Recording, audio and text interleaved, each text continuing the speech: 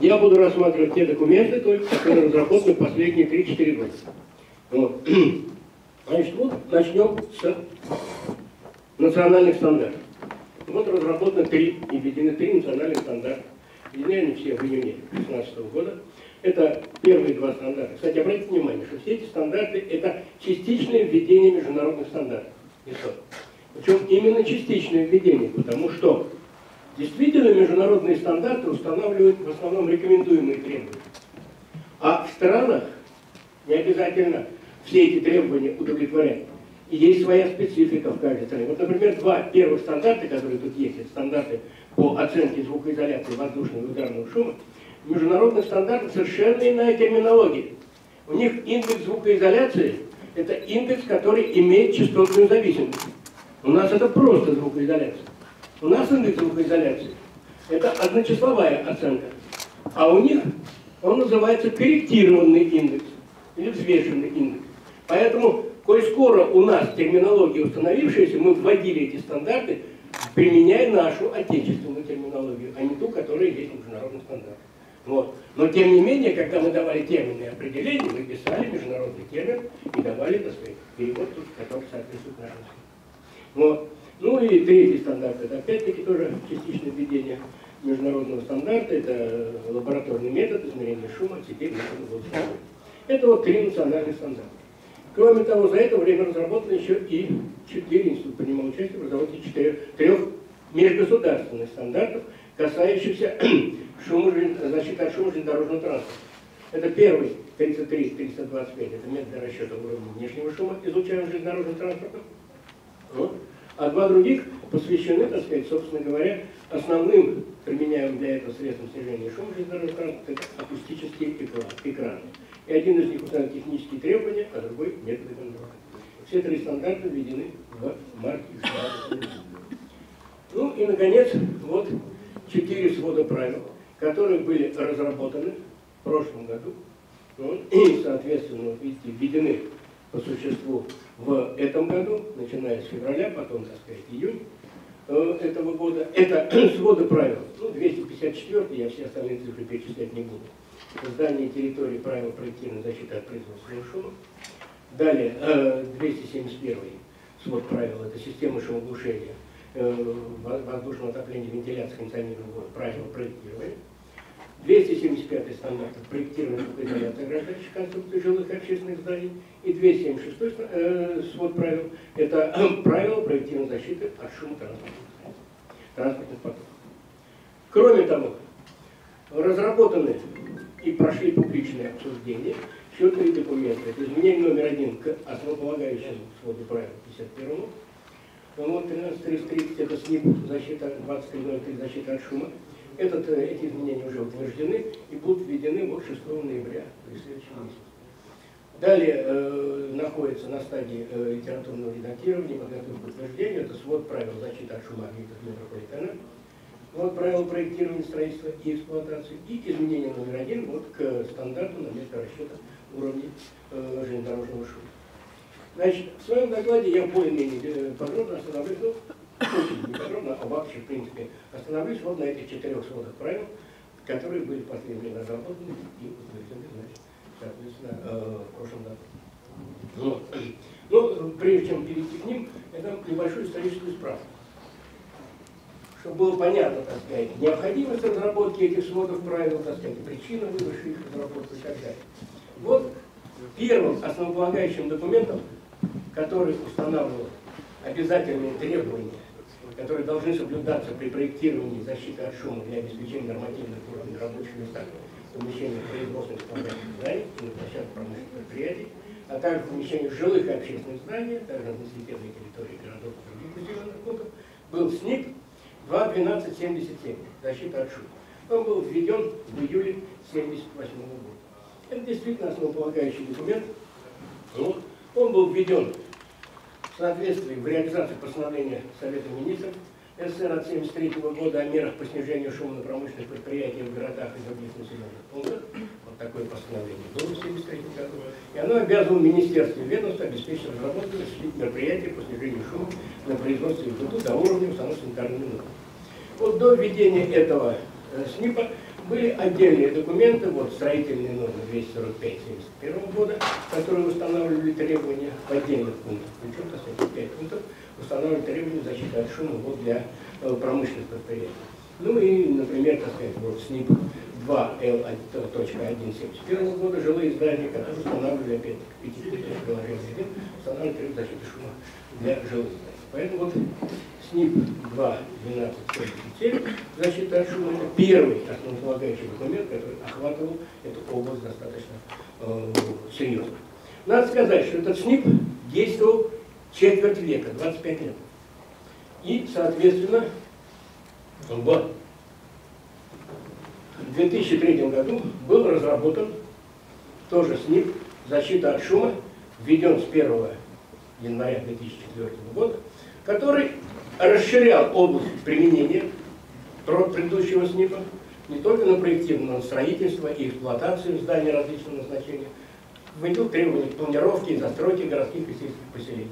Но в этом документе были, был учтен опыт, накопленный за 25 лет действия того СНИПа, как с точки зрения методов проведения расчетов шума от различных объектов, так и с точки зрения, так сказать, различных мероприятий и средств снижения шума как промышленность, так и. Вот. Но вообще надо сказать, что судьба этого СНИП была не очень удачной.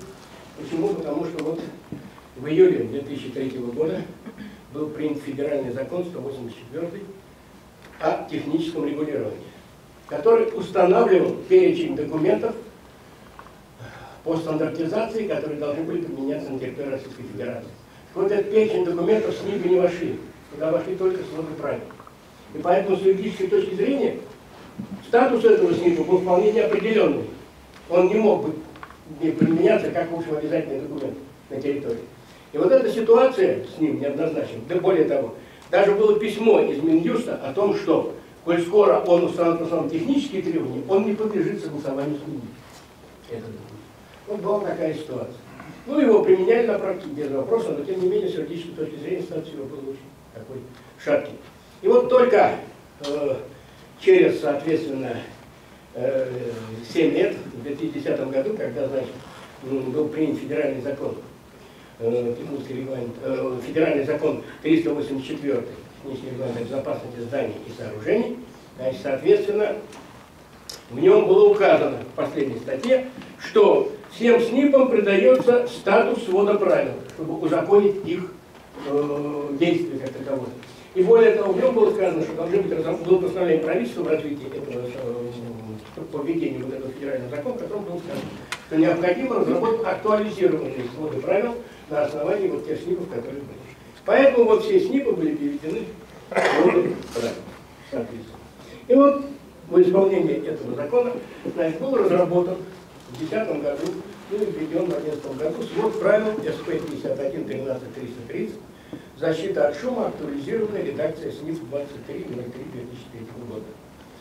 Ну, надо сразу сказать, что установленные в нем требования в основном соответствуют требованиям СНИП 23.03. Вот, ну, актуализация касалась, так сказать, некой нормативной документации, которая за это время была наработана и так далее. А в остальном э, были определенные моменты, о которых я скажу дальше, которые, так сказать, там были учтены. Вот надо отметить, что постановлением правительства от 24 декабря 2014 года 1521 отдельным частям вот этого свода правил был придан статус обязательным для применения на территории Российской Федерации. Таким образом, этот документ стал, э, в принципе, обязательным нормативным документом с точки зрения его применения на Российской Федерации. Ну, это положительная сторона. А вот отрицательная сторона была в том, что в связи с этим из этого документа были исключены методы акустического расчета, ожидаемых уровней шума и методы оценки эффективности рекомендуемых строительно-акустических мероприятий по снижению шума. То есть в этой части его как бы содержание было существенно уже вот того СНИПа 2303, который, так сказать, действовал до того. Более того, в пункте 4.6 этого СП было сказано, что акустические расчеты должны выполняться по методикам, изложенным в соответствующих сводах правил. Вот в соответствии в исполнении этого пункта и были разработаны, наконец-таки, тот 2011 года, сейчас у нас 17 год, разработаны и введены вот эти четыре свода правил, которые и дают методы расчета шума от различных источников, ну и методы проектирования звукоизоляции. Вот о них я вкратце, так сказать, действительно скажу, поскольку времени у меня не так много, но поэтому детально я на них останавливаться не буду. Ну вот первый свод правил, 254 это правило проективной защиты от производственного шума. Он устанавливает правила выполнения акустических расчетов, правила подбора и размещения малошумного оборудования. Кстати, впервые таких правил, так сказать, до сих пор не было. Вот. А также правила проектирования мероприятий по снижению шума на рабочих местах, помещениях, на территории промышленных предприятий, организаций, средствами строительной акустики, применение звукопоглощающих конструкций, звукоизолирующих конструкций и прочее. Значит, я не буду, чтобы немножко как бы представить круг вопросов, которые рассматриваются этим судом правилом, значит, я вот тут дал перечень основных э, разделов этого документа, начиная с пятого раздела, потому что первые четыре раздела, они вот общие, обязательные, это область применения, нормативные ссылки, значит, дальше идут термины определения и общие положения. Вот начиная с пятого. Значит, здесь даны сначала характеристики звуков помещения. Значит, впервые, собственно говоря, так, в этом разделе даны, определены акустические параметры помещения как такового, которые должны быть, даны методы определения прямого и отраженного звука в помещении, вот, и, э, собственно говоря, э, они даны в таком виде, который позволит это, позволяет это делать, все э, программировать и давать, так сказать, в виде программных средств. Потому что, надо сказать, что на сегодняшний день Э, собственно, с одной стороны, формулы достаточно э, простые, их можно и вручную пытаться применить, но имея, так сказать, средства э, персональные компьютеры, так сказать, это достаточно, все, сейчас программы уже отлажены, имеется, так сказать, несколько фирм, которые делают соответствующие документы, соответствующие программные средства. Вот, они проходят у нас аттестацию, мы, так сказать, допускаем их для использования с тем, чтобы их можно было применить. Вот. Значит, шестой раздел дает порядок расчета требуемого снижения шума в помещении. То есть он показывает, как, так сказать, рассчитать шум в помещении или на территории предприятия, он в соответствии с существующими методиками, э, дает соответствующий метод. Далее, естественно, идет выбор мероприятий по обеспечению требуемого снижения шума. Вот мы рассчитали, сравнили с нормами, соответственно, мы можем выбрать мероприятие по, для обеспечения требуемого снижения определить требуемую звукоизоляцию ограждающих конструкций зданий и элементов зданий, в помещениях. А вот последние четыре, так сказать, раздела, они посвящены как раз э, э, методам и средствам снижения шума, э, защита от шума, это звукоизолирующие кабины, звукоизолирующие кожуха, звукопоглощающие облицовки конструкции и акустические экраны. Значит, тут рассмотрены э, методы расчета этих, так сказать, элементов, рассмотрены методы определения требуемой звукоизоляции каждого, э, каждого элемента вот этих, так сказать, конструкций. Вот, и э, методы оценки полученной эффективности. Вот в основном, так сказать, этот свод правил позволяет проектировщикам провести, так сказать, проектирование шумозащиты в зданиях промышленного значения. Следующий свод правил, это 271, это свод правил по проектированию системы шумоглушения, воздушного отопления, вентиляции, кондиционирования. Надо сказать, что до выхода этого документа, в общем, в основном проектировщики э, руководствовались или использовали руководство 82 -го года, которое было разработано Институтом Союза. Этот документ, конечно, так сказать, э, включил основные моменты того руководства и добавил сюда соответствующий опыт, который был наработан за это время соответствующей лаборатории, э, лаборатории ВУЗа, которая у нас этим вопросом занимается. Он устанавливает правила расчета и проектирования шумоглушения систем воздушного отопления, вентиляции кондиционированного воздуха, которые должны выполняться при их использовании с целью защиты от шума и обеспечения нормативных параметров акустической среды в производственных, жилых и общественных зданиях а также на прилегающих территории и в рекреационных зонах. Действительно, вот он позволяет проводить расчеты акустические различных инженерных систем обеспечения э, климата в здании. Будь то, так сказать, жилое здание, будь то соответствующий офис, будь то, соответственно, э, гостиница, ресторан и так далее и тому подобное. Вот. И такие расчеты, в общем, производить, проводить надо, и, э, собственно говоря, они и производятся. Вот что он себя включает, опять-таки, начиная с пятого раздела. Вот это нормируемый параметр шум. Надо отметить, что для системы вентиляции, кондиционирования, вот, значит, эти параметры, они в соответствии с действующими санитарными нормами на 5 дБ жестче, чем те нормы, которые установлены в помещении как таковом. И это правильно. Почему? Потому что есть общие требования.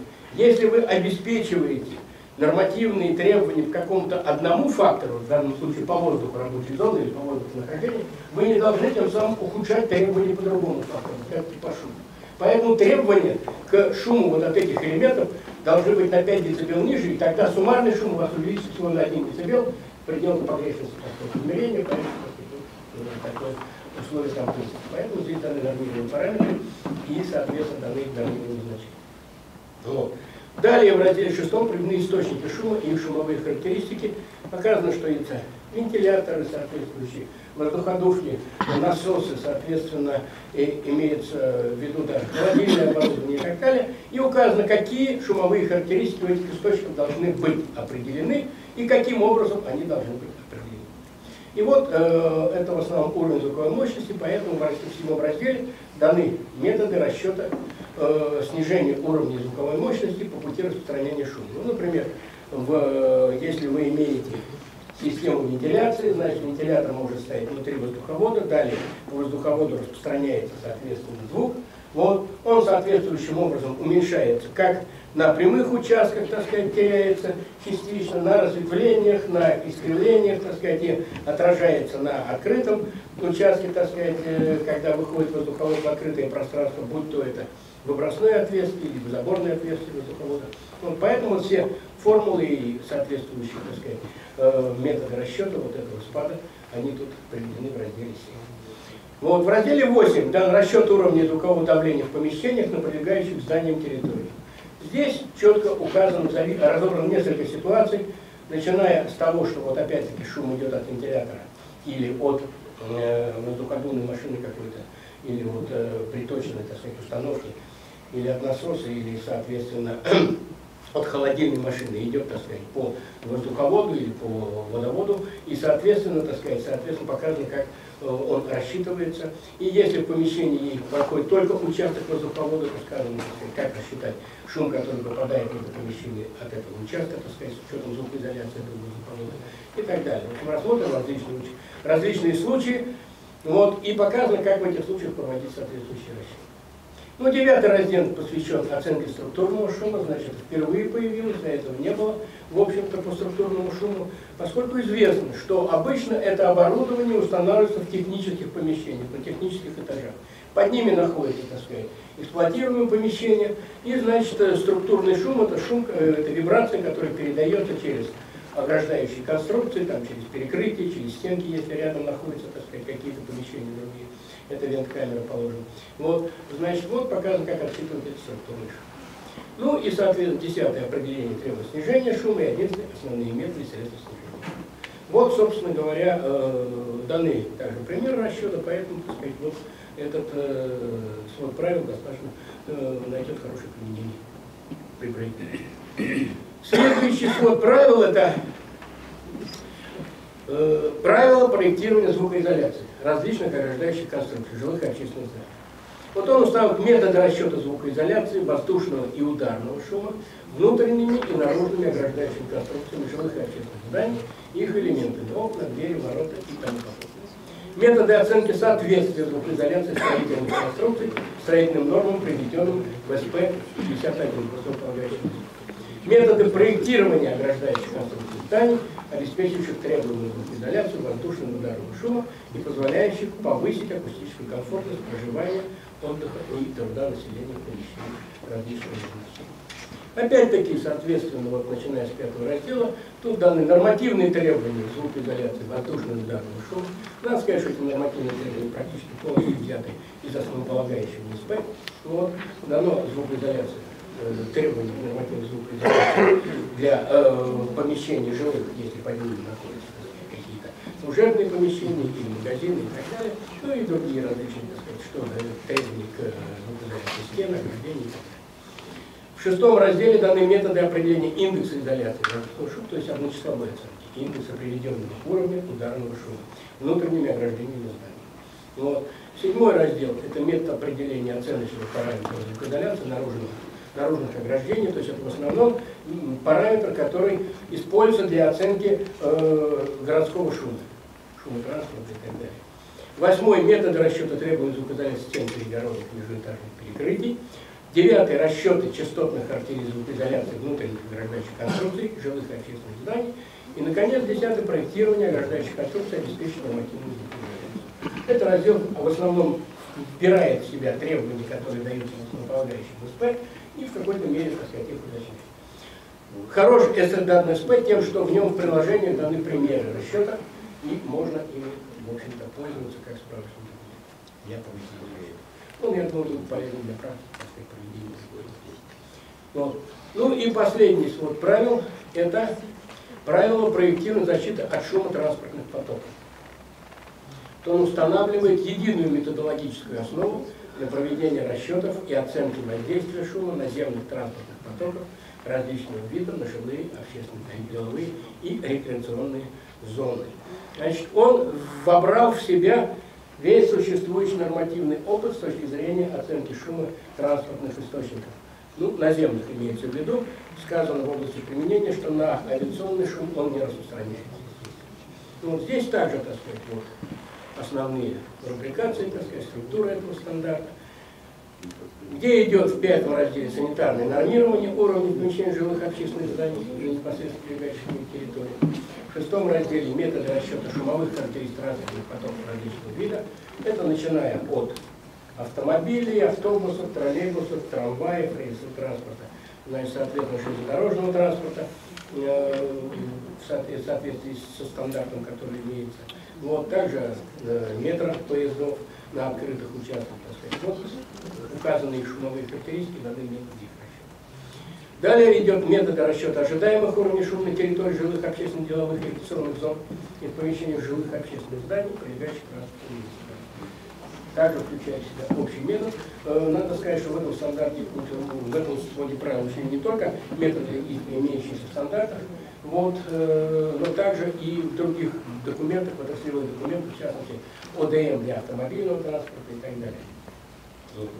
Восьмой раздел, как обычно, определение требований снижения уровня транспортного шума, чтобы знать, насколько его снижать, если, так сказать, нормы нам известны, мы посчитали ожидаемый уровень.